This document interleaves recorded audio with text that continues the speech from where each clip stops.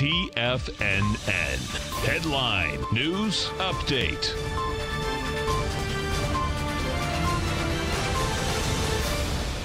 Good morning, everybody. I'm Tommy O'Brien coming to you live from TFNN headquarters in St. Petersburg, Florida. It's Friday, 9 a.m. Eastern Time, 30 minutes to go until the opening bell. And we got a mixed market so far, but all the indices accelerating to the downside right now as we approach that opening bell. Right now we have the S&P up 5 points, trading at let me get those numbers for you, folks. My computer refreshing a little bit. Gold catching a bid while we wait for that. Up decently at 15, 16. Now we get the numbers. Dow futures negative 55 points, trading 26,725. S&P futures negative by 3, right above 3,000. Nasdaq futures negative by 4, trading at 79.24. Oil pulling back a bit. We got the 10-year yield sitting at 1.75%.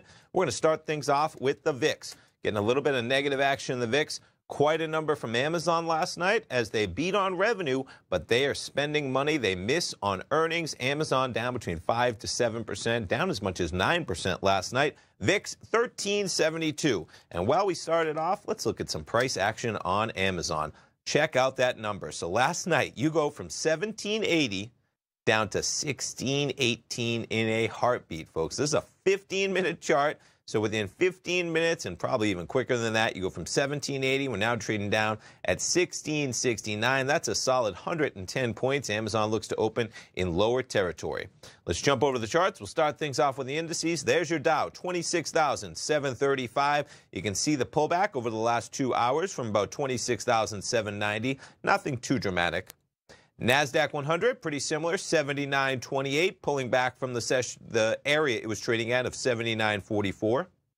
S&P, similar action, just above 3,000, currently trading at 3,002.